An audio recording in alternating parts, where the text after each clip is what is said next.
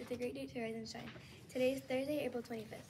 Today's lunch is teriyaki chicken, fried rice, green beans, salad bar, and milk. Hey readers, did you know a dog can read your emotions? That, that I, I did, did not know.